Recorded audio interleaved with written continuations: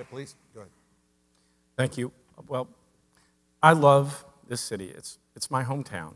And uh, I was given the great privilege, the honor of being asked to step in in a moment of uh, disarray, of unprecedented uh, change in our community.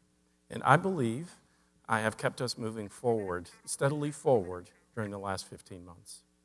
I believe um, that uh, my hard work and my love of the city has really helped us heal from that moment. But I know as I talk to people, I've spent a lot of time talking to folks. I'm in a unique position in this community to talk to both the businesses that want to come here and the families sending their kids to schools and the teachers. I know that people are hurting and that the progress we're making is not uniformly shared. I want you to know that. I want you to know that I understand that.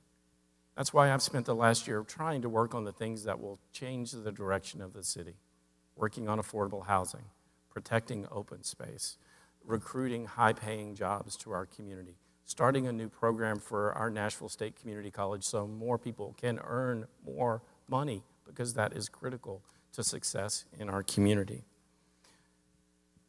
If you give me the chance to be the mayor for the next four years, which I'm asking you to do tonight, I will work as hard for Nashville as I have ever worked. And I will make sure that as we move forward, we don't just get bigger, we get stronger.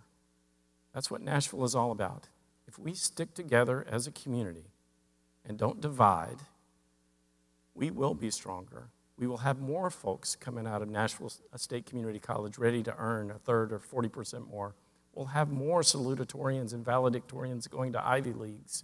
We'll have more affordable housing. We'll have more open space. Please help me do that. I'm asking for your vote. Early voting starts July 12th, and the election is August 1st.